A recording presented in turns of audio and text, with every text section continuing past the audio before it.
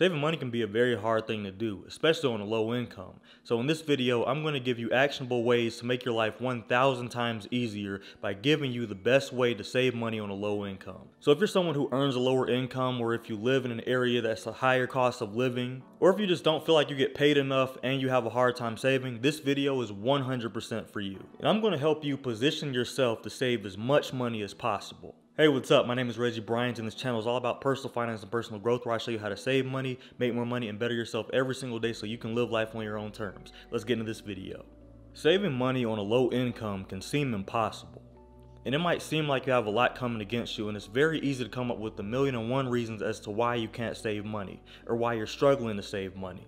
That's why the first step of saving money on a low income is getting out of your own head. This is where you got to be real with yourself by making it very clear that you know that this is not going to be easy by any means, and it's definitely going to start off slow, and that's okay. Being real with yourself is so much better than becoming a prisoner of your own mind where you're subject to your own negativity and self-limiting beliefs to the point where you don't do anything about your situation because you just feel like it's hopeless. So much easier to be real with yourself and see your situation for what it actually is. That way, you can make a plan based on how your finances look right now. And that's the part that no one really wants to hear, but that is the key. That is the first step to saving money on a low income. You have to face your reality. No one's going to do it for you, and it's not anyone's job to come in and rescue you from your reality. And think about it this way there's absolutely no excuse in the world that makes your current situation acceptable. You want to get out of it, so that's how you know it's not acceptable. When you think of it that way, you realize that you're the one who's in the driver's seat of your financial journey. But when you go back to the mindset of defeat, when you have that defeatist mindset, that means you're allowing yourself to be defeated by the power of your own mind. See, I'm about to get deep in this video, and I hear this type of mindset all the time, especially when I talk about saving money. I have a ton of videos on how to save money. And I think any and everybody can benefit from the advice I give in my money saving videos. But I'd be lying if I said I never got any comments that say stuff like this. Well, you know, not everybody can save that much money, Reggie. Well, some people don't have the means to put some money away every month. Not everybody can afford to do that. Those are all examples of a defeatist mentality. And I just want to let you know something right now. We are not victims. We take control of our situation, and that's the only way you're ever going to be able to live life on your own terms. Can't do that if you're blaming other people or outside sources for your problem. I used to do that, didn't get me very far. Nip that in the bud real quick. See, you can be in a bad financial situation, or you could even be in an okay financial situation, but you might just want to save more. But as soon as you characterize yourself as a victim who can't do anything about their situation, that's when you limit whatever your outcome is going to be because you're basically telling yourself that you're not deserving, that you're not worthy of a financial future that you have full control over. And since that way of thinking holds you back so much, it really holds you back from what you're willing to do to make your goals and dreams a reality. In my lifetime, I've seen multiple situations. Some people live paycheck to paycheck where they can barely hold on to a dollar every month. Some of you might be up to here in debt. Some of you might have so much overhead, so many expenses that you have a hard time saving money. You might have kids, other financial responsibilities, you might have medical issues you're dealing with. A lot of things can come against you in this world, and it's definitely something we all need to recognize and acknowledge because life isn't fair.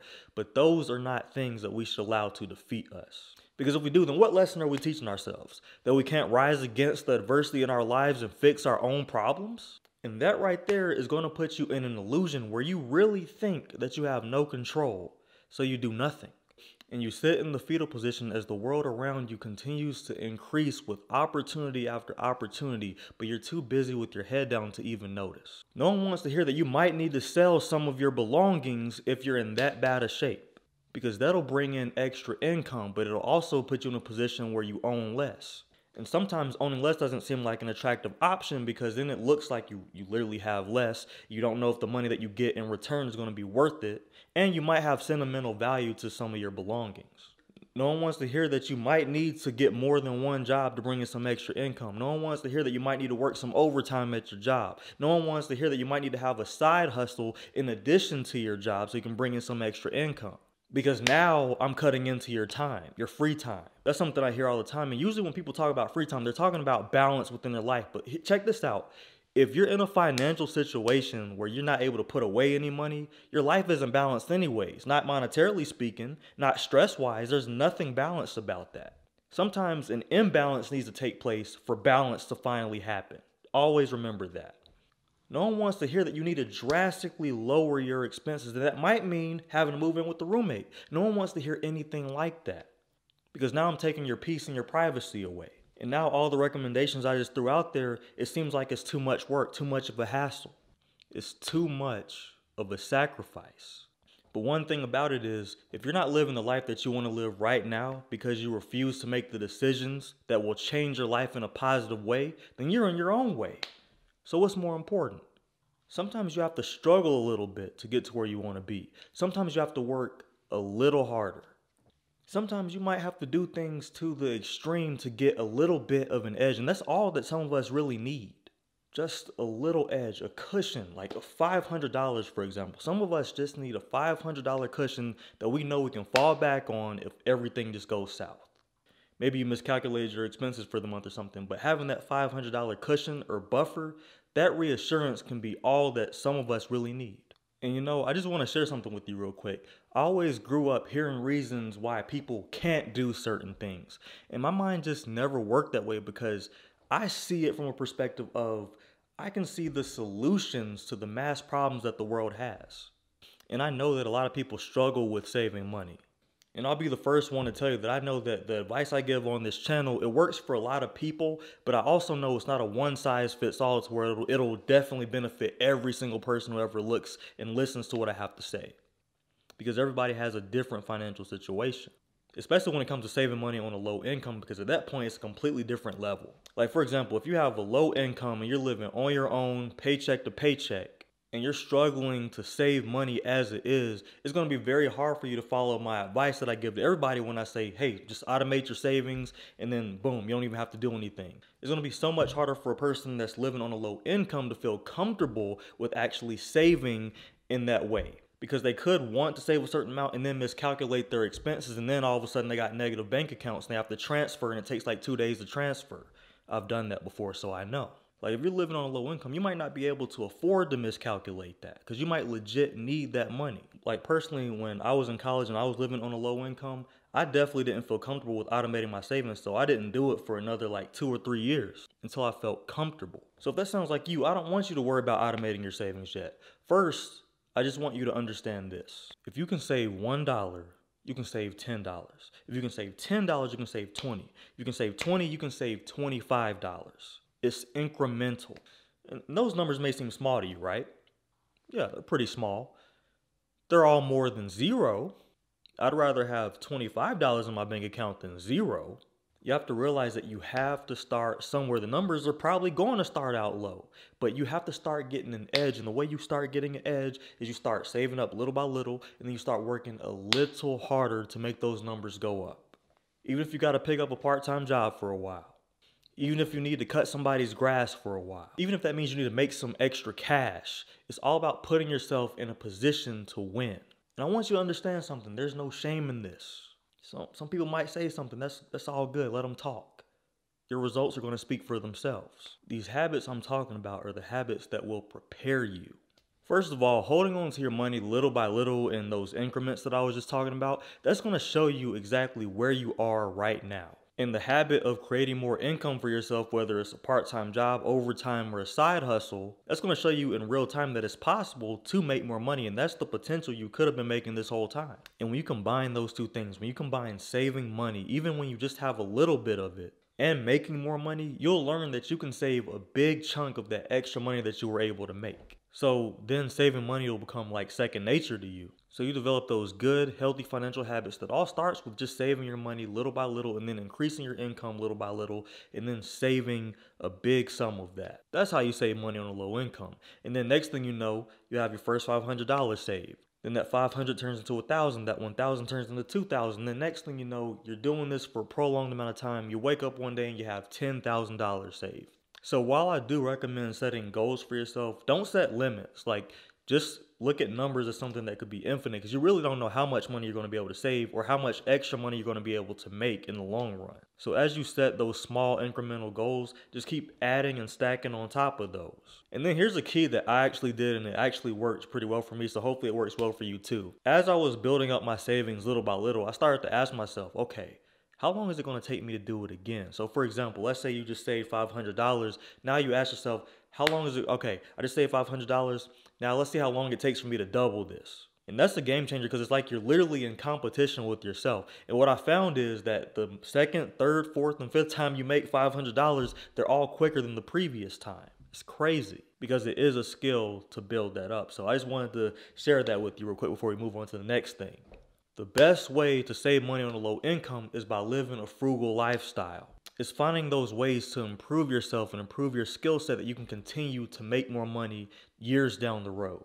And I know when most people think of frugal, they think, you know, being really tight and cheap with their money. That's not what I'm talking about because it's frugal living to me is just being smart with your money and thinking into the future. And the smartest thing you can possibly do with money is figuring out a way to increase it as the years go on. And to be honest with you, we're nearing the end of 2021. It is almost 2022. And there are just way too many ways to make money right now. Like we are literally living in a world full of opportunity to make money. Like we're pretty much at a point in history where we could make money come out of thin air like that. Might have exaggerated how easy it actually is to make money, but what I'm saying is there's more opportunity than there's ever been to make money. There's so much information out there. There's so many books to read. There's so many videos to watch. There's so many articles online. The information that we all have access to nowadays is overwhelming, and for the most part, you can find a lot of this stuff for free. And I'm, and I'm specifically talking about the information that we have out there just about making more money alone. So all you really have to do is put the time in and learn. So there's a ton of different situations out there. So yes, some of you may need to go to the extreme to save some extra money for survival purposes. Some of you might feel like you need to go to the extreme to build a decent nest egg as quickly as possible. Some of you might just need to make minor adjustments that can have a very big impact on your finances. But no matter what boat you're in, you need to take some type of action to save money on a low income because inflation is not stopping. But the demand that the world has is going to continue to only grow. That's where you come in. You figure out ways you can make more money based off of that demand. And the more money you make, the more money you can save. Like, think about this. Check this out. Right now, you're witnessing me make money by showing people how to save money on a low income. It's a skill I've improved upon. It's a skill that I've been working on since I've had a low income. I even made a video a few years ago on how I saved money on a low income when I was in college. I'll link it up here. I always seem to point to the wrong direction. I'll get it right one day. I've made videos on how to stop living paycheck to paycheck, how to live a frugal lifestyle. I'm showing you the things that I've learned throughout my life and how I've applied them to my life. I even tell you how they improve my life and how they can improve yours too, and I'm making money from that. So in addition to my full-time job, I'm making money from these videos that I'm putting out there just to help you guys with your money. And because I've been able to increase my income in that way, I'm able to pretty much pocket every single dollar I make from YouTube. And another habit I've been doing is I've been studying how money works, how investing works, how money grows, and how my money can work for me. And I've also been looking at even more ways to make extra income. So for example, a while ago, I learned that you could actually put videos up on YouTube and make passive income from just having your videos up there and a few years later i'm doing it. So now i'm looking at other ways like through investments and passive income investments and stuff like that. So i imagine a few years later i'll be having some pretty strong passive income streams there too. But it's because i've researched and i've been applying what i've researched very heavily. I'm not necessarily and i'm not necessarily saying that you have to make youtube videos or look to make passive income or anything like that. What i'm saying is you can make money through what you're already good at and you're good at something like there's people on Instagram who take pictures of that good food they just made in the kitchen. And then the audience wants to know how in the world they made that dish or that meal. So then the person on Instagram, they just make a 30 second video showing the ingredients, how they cook it, all that good stuff. And then boom, the audience has the answer. But then they take it a step further. They, they build that those videos over the course of times. They grow an audience. And then all of a sudden they're, they're like, you know what? I'm going to put out a cookbook and show you guys everything. $5 cookbook. So let me, so, so do the math. $5 cookbook, 5,000 people buy it. You're making money now. That's an example of getting paid off of something that you're good at. And that also happens to be passive income. And even though you're definitely going to need to set aside some of that money for taxes, you can save slash invest a lot of that money. So this doesn't have to be like a rags to riches story. You don't have to grind super hard to the point where you're only getting two hours of sleep every night. It doesn't have to be like that. Like the struggle doesn't have to be that real. It could just be something that you genuinely like doing that you so happen to be able to monetize over the course of time. And the extra money is more money for you to save. You keep increasing your value, you keep increasing your income, and you just keep doing that over and over and over again. So there's another really important thing when we talk about this managing your money. You got to figure out the best way for you to manage your money. And that's something that I actually help people out with as well. And I have a website where I have coaching services and I have three options up there. I have paid options and I have a free option as well. But either way, you can sign up and get coached by me on how to save money, how to get out of debt, how to make more money, all that good stuff, and change your financial situation. And the reason I'm bringing that up is because when you get a coach, you cut your learning curve in half.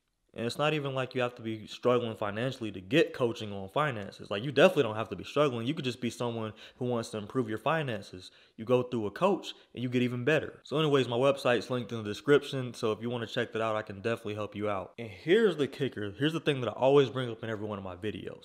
Once you finally do get a hang of saving money on a low income, now it's time to simply automate your savings because now that does apply to you. Now you will feel comfortable with doing that because you figured out how to save little by little and you figured out how to increase your income to the point where you can predict exactly how much money is coming out of your account, how much is coming in your account every month so you won't miscalculate those numbers. And now that it's much easier for you to automate your money, now your money is working for you. I'm not saying that your money is working for you in the sense that it's growing while you do nothing, because it's not quite doing that yet if you're just sending it from savings account to savings account. What I'm saying is your money's working for you because it's doing what you tell it to do when you tell it to do it. So let's say you want to save $100 a month on automation. Instead of manually doing it yourself and having to remember to do it every month, in which case you might forget, you're straight up telling your money, hey, $100, you're going from this account to this account on the 15th from this month and every month that passes. And it's cool because it follows your command. And then you know what you do? You continue to improve. You continue to increase your income. You continue to move up at work. You continue to do your side hustle. You continue to learn about the stock market. You continue to learn how to make your money work for you. And you keep adding on to your savings. You keep building and building and building. And guess what, bro? Rome wasn't built in a day. And you know what else? Your financial situation wasn't built in a day either. So it's going to take time for you to build up the amount of money that you want in your bank account. It's going to take time for you to start investing and getting good with your money. And it's going to take time for you to build the financial future you've always wanted. And that's okay. But this all starts with the first step of how willing you are to be real with yourself and how willing you are to look at your situation for what it really is. It's not that easy. It's not that easy to look at your flaws or look at how unfortunate your financial situation is right now. And then coming up with a plan to fix it and then following through with that plan, that's hard to do. But it's what must be done if you're going to get to where you want to. When I was making low income, I was in college and I could have easily been like this well, I'm just a college student. I'm not meant to make money yet. Because that was the word that was going around. You're in college. You're not supposed to be making money yet. And I could have been influenced and listened to all the noise around me saying that I shouldn't pursue a high paying job because I didn't have the experience yet. Because it was just my first job, that I should just accept making 10, 15, 16 dollars an hour. Just accepting whatever reality I was dealt. I didn't accept that mess. I was like, nah, I just busted my tail for four years in college to get this engineering degree of all things, and you dare offer me $16 an hour? Nah, we're not doing that. And because I was bold like that and I had that tenacity, I ended up landing a job that paid $36 an hour. I was like, okay, that's more like it. You know what I'm saying? But I, I, I tell you that story because if I would have took that $16 an hour job, plus the debt that I had in college, plus the cost of living in the city that I was in, I wouldn't have been able to save much of anything. I would have pretty much been living paycheck to paycheck. And that's with having roommates. See, we all have choices in life. You can choose to just be okay with the reality that you say that you want to get out of, or you can choose to refuse to accept it. I refused. And as soon as you make that choice to refuse that reality and you say, I'm not tolerating that mess, I'm going to change this, that's the moment you choose to win. And from there, you save your money and then you realize there's no magic formula. There's nothing special in particular that you can do outside of what I already told you. Like, there's no clapping your hands or snapping your fingers and then boom, cash just appears in front of you. You won the lottery, now you're good. That ain't how it works. It just goes back to basics. You build the disciplines, you build the good, healthy financial habits, especially the ones I talked about in this video, and then you just keep doing it over and over again for years.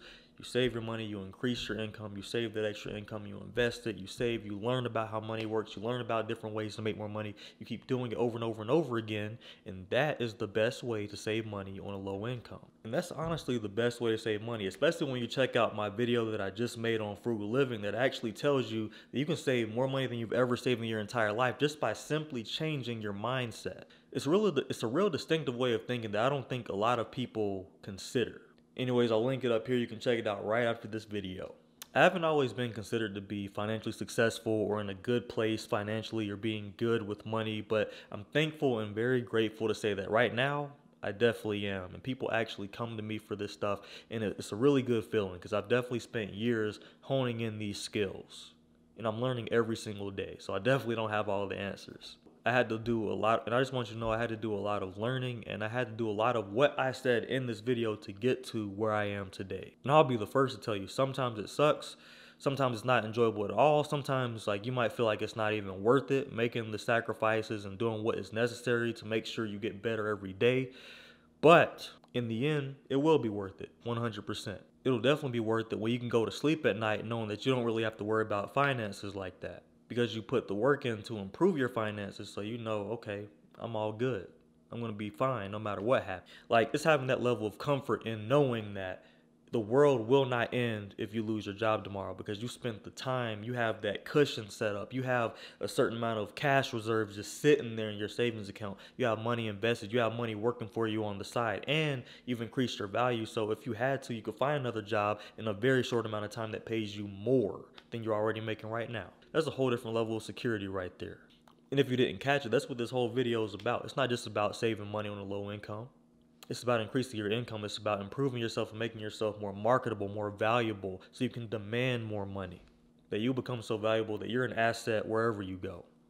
That's what my goal is for you. That way, no one will have control over you, and you will have the leverage in most situations. And even though I'm not financially free, what I just described to you, that's the spot I'm in right now.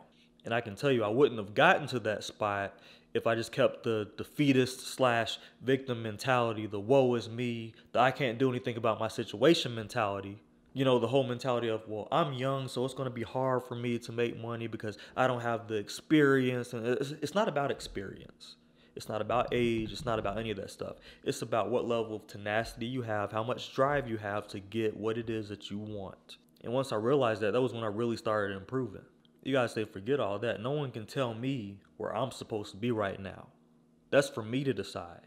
And you know, this whole process does take a while. Like, I'm not here to say that it happens like that as soon as you make these few realizations. Like, no, you still have to apply everything I said in this video over a prolonged amount of time to get to where you want to be. But what I'm saying is this it's definitely going to be a rough road ahead. It's not going to be the easiest thing you've ever went through.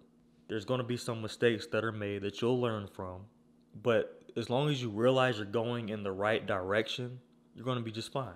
Because as long as you're going to the right direction, that means you're going to end up in the destination that you want to be in. That's how you save money on a low income. You conquer your mind, you build healthy money habits that prepare you for when you do increase your income. So that makes you cherish and treat your money a lot more responsibly. And you keep doing that over and over again, and then one day you'll get to the point where you no longer have low income but instead you'll have low expenses and more income, which means you'll have a lot more extra money than you ever thought possible. That's what I want for you. Anyways, this video for today. Thank you so much for watching. My name is Reggie Bryant, and this channel is all about personal finance and personal growth, so you can control you, control your finances, and control your life. Thank you so much for watching. I'll see you in the next video. Stay cold.